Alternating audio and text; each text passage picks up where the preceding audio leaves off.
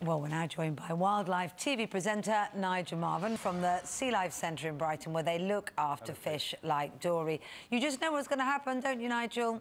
Everyone's going to see the movie. Everyone's going to think how cute the character of Dory is because she is, mm. isn't she? And they're going to want a fish like her. Yeah, no, in, in, 2003, I mean, Finding Nemo, what an amazing film. I cry every time I see it. I mean, it's a brilliant film. And after it came out, they took a million clownfish from Thailand and the Philippines, a million. And most marine fish are taken from the wild. They use chemicals to pull them out from the coral reef. Um, so it's a real problem. And, and, and to keep a marine tank, to get the chemicals right, to get the salt water, the salinity right is very difficult. So it's not something to be taken lightly if you see these fish and fall in love with them. The, the animations are brilliant, but it's a shame real animals are harmed because of people seeing the movies. So what would you say then, Nigel, if, if parents are getting pestered by their children uh, for a dory-style fish? Is there a viable alternative that they could get that perhaps would assuage their need to have a fish mm. that's going to be cute and that they can enjoy? Yeah, no, I'm, I'm, definitely not against exotic pets. I've got a house full of lizards and snakes at, at, at home, but you've just got to be careful that you, you know, get the ones that aren't taken from the wild. And freshwater fish, there's some brilliant freshwater fish like discus and angelfish, and they've been bred for many generations in captivity. They're not as difficult to keep as a, a blue tang, which is what the, uh, the dory is in the movie, a blue tang or a regal tang. They can grow to be um, 30 centimetres a foot long, so you're really taking on a fish that can grow very big. And there is real concerns that when the movie goes out, they could cause a really big problem in the wild, um, and they have to be taken from the wild.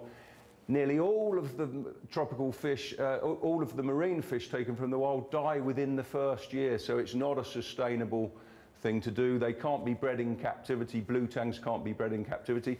They're in a group called surgeon fish, so next to their tails, they've got little spines, and if they're attacked or you pick them up, they push these spines out, and they're like razor blades. So if you, if you handle them, they can even cause an injury. So they're really not good pets. Better to watch them in the movie and get a, a goldfish that's been bred for generations in captivity uh, or, or a freshwater fish that's been bred uh, as well. But yeah. taking them from the wild really is a problem. All, all of the snakes and lizards that I have have all been bred in captivity and I'm always very, very careful to make sure that nothing is wild caught.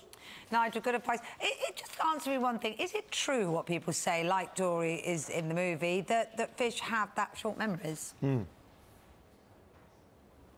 Um, sorry, Kate, I didn't hear that one. I don't know if that's a joke or not. Do fish really, really have nine-second memories or whatever it is they say?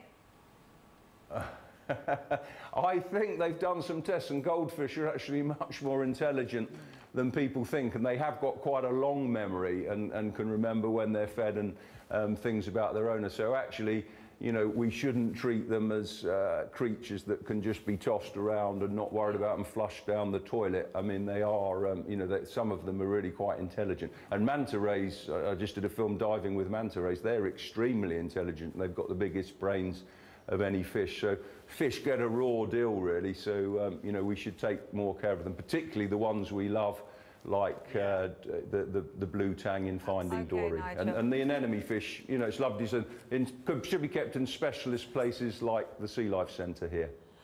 Lovely okay, stuff. Nigel, Nigel, thank you very much for joining us. It looks beautiful behind Nigel. Just see the sharks going backwards and forwards yeah. in the back of shot. Slightly yeah, no, it's, very impressive. It's a great place. Yeah, really wonderful. Is. Thanks very Amazing. much, Nigel. Thank you.